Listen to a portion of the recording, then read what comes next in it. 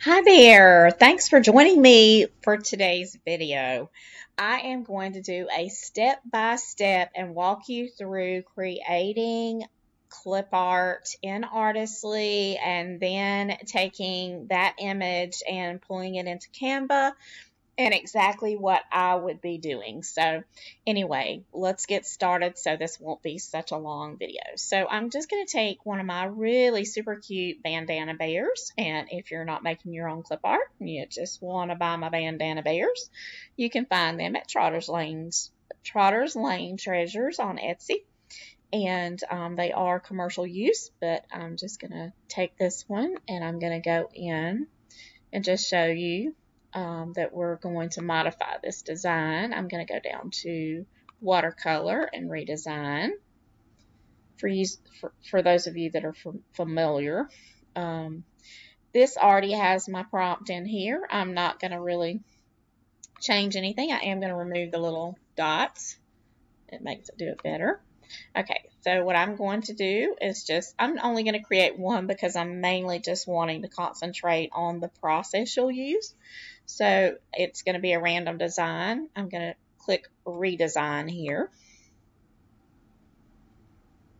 I just want you to kind of see the whole thing. Now, if I were just starting over with a prompt, then I would probably um, take the AI image designer over here and I'd be typing in that prompt. Okay, so here we have this cute little image. I'm going to go here first. I'm going to make it private because I do that with all my clip art so that it doesn't go into the community feed. And I am going to, okay, so I'm going to download it to my computer. I'm going to go over to Canva. Here's my Canva. I am going to, I'm going to assume that you don't already have a brand template set up. So that's what we're going to do first. We're going to go into the create a design and then go down to custom size. And then I'm going to type 2500 by 2500.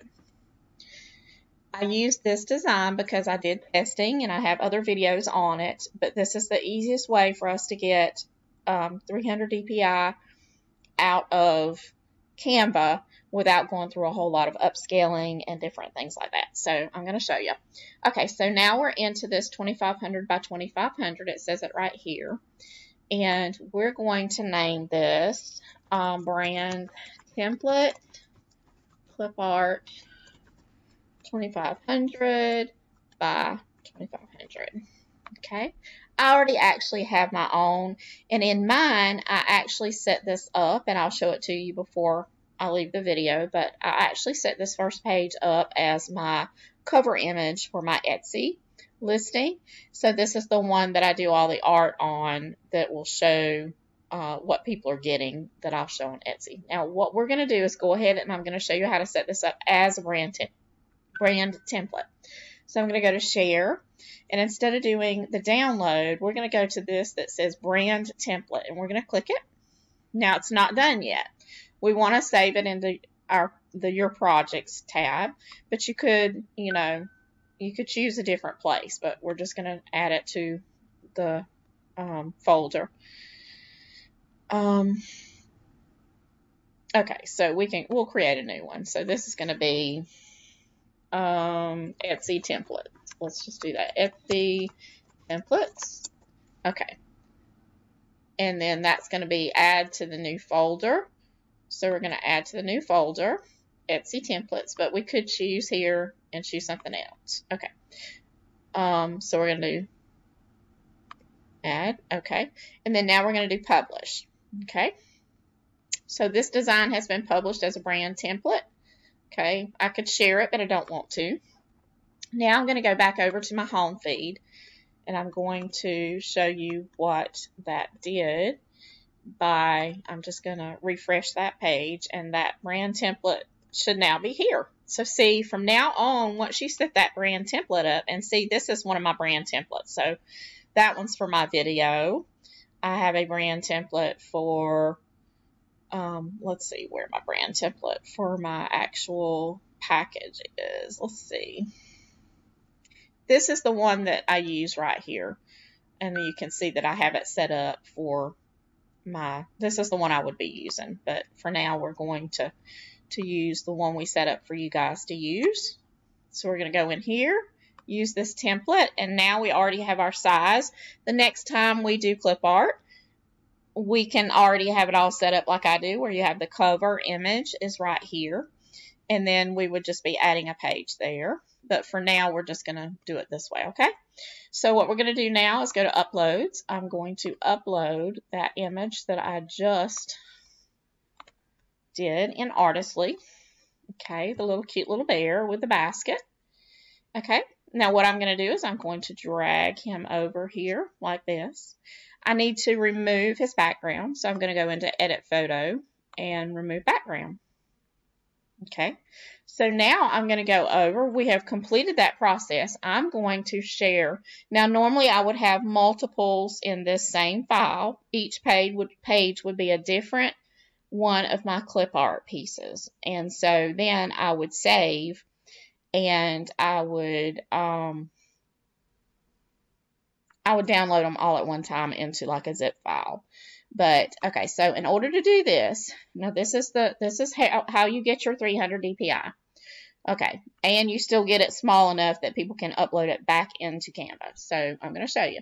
So we're going to go to download.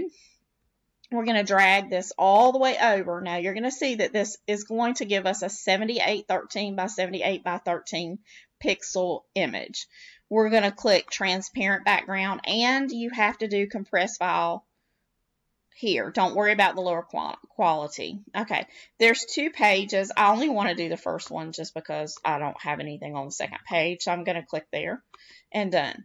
Now I'm going to download that image. Okay, now to show you how that worked and that we have the 7814 by 7814 and it is a 300 dpi image, I am going to open up just to show you.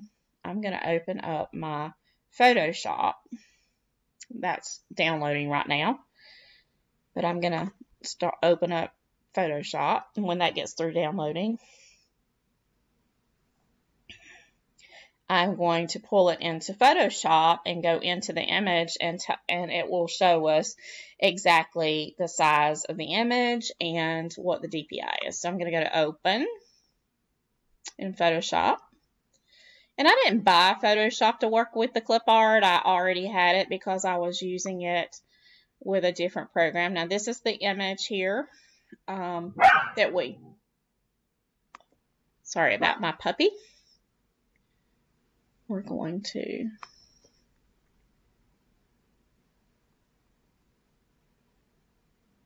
wait until it gets finished. Okay, so here's our new one. This is the one we just did. I had to wait for it to, we're uploading it. You see it's already got the background. No, thank you. Um, it already has the background removed because we removed it in Canva. And now I'm going to go to image and image size. And you're going to see that, see, it is 780, 7813, not 14, sorry about that, by 7813. And it is 300 uh, DPI. So we accomplished what we wanted to. So if you're doing single images in Artistly, that is the easy peasy way to get 300 DPI without doing any upscaling or anything like that. It took me a long time to figure out the exact dimensions that I had to do in order to make the files small enough, the file size small enough and still get that 300 dpi. So um, that's how you do it. And um, I hope that that will help you. Let's go back into the to Canva. And um, I hope that's really going to help you save some time and will make the process a whole lot easier for you. But let me recap and tell you exactly how I normally would do. I'm going to go back into Home, Canva, um, and then I'm going to go over here to my my brand template that I normally use. I'm going to go into here. And then, see, this is how I have this set up. So I already have whatever template uh, that I'm going to use for whatever um, clip art. And then I take my images and then I'll make this and so then when I download it, everything's all together. Um, that's um, gets into a little bit of complication because of all the different um, components to a listing. The video, your cover image, your um, your actual PDF that's going to have the link to your clip art, um, where it's stored and in your shared folder. So all of those are components, and I don't have time to go into those today in this particular video, Thank but you. I'm I so do glad have some that you were videos able that to cover join me for that. this So video, just and I uh, hope you enjoyed out it and that it will be a help in your business. Um, I use Artistly AI to create all of my artwork. If you're curious about it, I do have a link um, with my affiliate link down in the description box. Check it out. They have a, a money back guarantee for I don't know exactly how many days. At one point, it was 30 days. So you can check it out. And if you don't like it, it doesn't work for you, you can always ask for a refund. Um, I do have a special group on Facebook that I'd love to welcome you into if you use my affiliate link and want to learn more about how to use Artistly in your business. And um, I just want to thank you for watching my video. If you would, like and subscribe and leave me a comment. And I hope you have a great day. See you next time.